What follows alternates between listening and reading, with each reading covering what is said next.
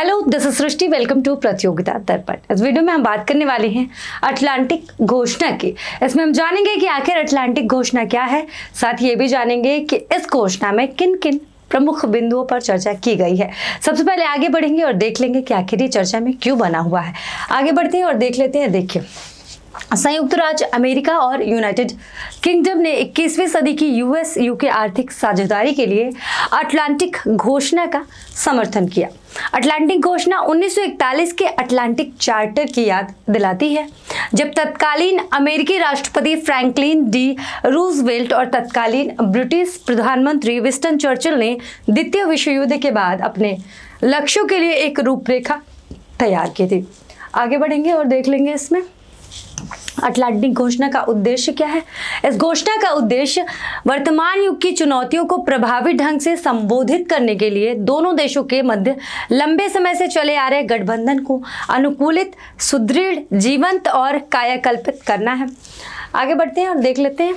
Atlantic घोषणा का उद्देश्य स्वच्छ ऊर्जा संक्रमण, एआई और राष्ट्रीय सुरक्षा पर सहयोग को मज़बूत करने के लिए एक रूपरेखा के रूप में कार्य करना है। चीन और रूस से खतरों के जवाब में आर्थिक सुरक्षा को मज़बूत करने के लिए ये घोषणा पत्र तैयार किया गया है। आगे बढ़ेंगे, देखेंगे कि और क्या कुछ है इसकी विशेषताएँ। ब्रिटेन और संयुक्त राज्य अमेरिका अपनी आपूर्ति श्रृंखलाओं को मज़बूत करेंगे, भविष्य की प्रौद्योगिकियों का विकास करेंगे और एक दूसरे के उद्योगों में निवेश करेंगे। इस साझेदारी का उद्देश्य साझा विकास, रोज़गार के अवसर उत्पन्न करने और समुदायों के उत्थान हेतु ऊर्जा परिवर्तन एवं तकनीकी सफलताओं का लाभ उठाना है। आगे बढ़ेंगे। दोनों राष्ट्र एक महत्वपूर्ण खनिज समझौते पर भी बातचीत शुरू करेंगे, जो यूके के कुछ फर्मों को यूएस इन्फ्लेशन रिडक्शन एक्ट के तहत उपलब्ध टैक्स क्रेडिट तक पहुँचने की अनुमति देगा। ब्रिटेन और संयुक्त राज्य अमेरिका 5G और 6G और क्वांटम प्रौद्योगिकियों सहित दूरसंचार प्रौद्योगिकी पर भी सहयोग करेंगे।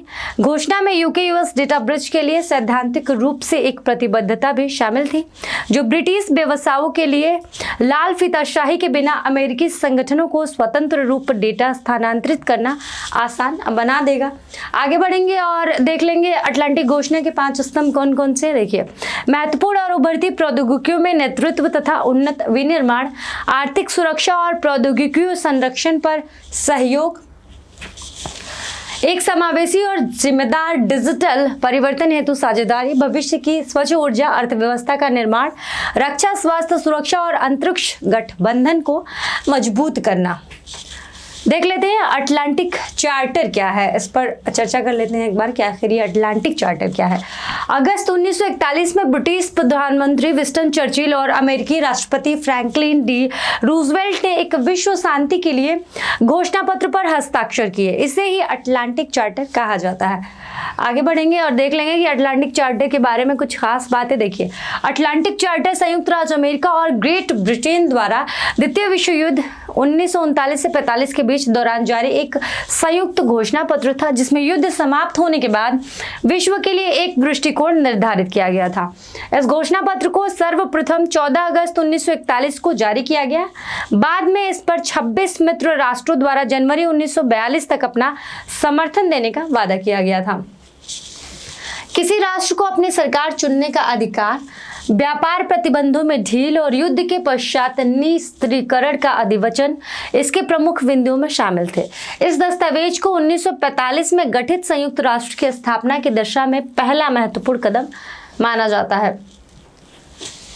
अटलांटिक चार, चार्टर में शामिल प्रस्ताव इसके बारे में देख लेते हैं कि आखिर ये क्या कुछ है। देखिए संयुक्त राज्य अमेरिका और ब्रिटेन द्वारा विश्व युद्ध से कोई भी क्षेत्रीय लाभ नहीं उठाने पर सहमति व्यक्त की गई थी और उन्होंने संबंधित नागरिकों की इच्छा के विरुद्ध किए जाने वाले किसी भी क्षेत्रीय परिवर्तन का विरोध किया।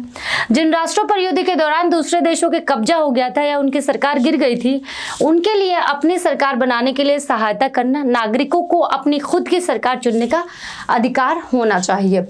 फ़िलहाल, इस वीडियो में सिर्फ़ इतना ही। उम्मीद करते हैं कि वीडियो में दी गई जानकारी आप लोग को पसंद आई होगी। वीडियो में दी गई जानकारी पसंद आए तो हमारे चैनल को लाइक, शेयर, सब्सक्राइब कर सकते हैं। साथ ही कमेंट में हमें बता सकते हैं।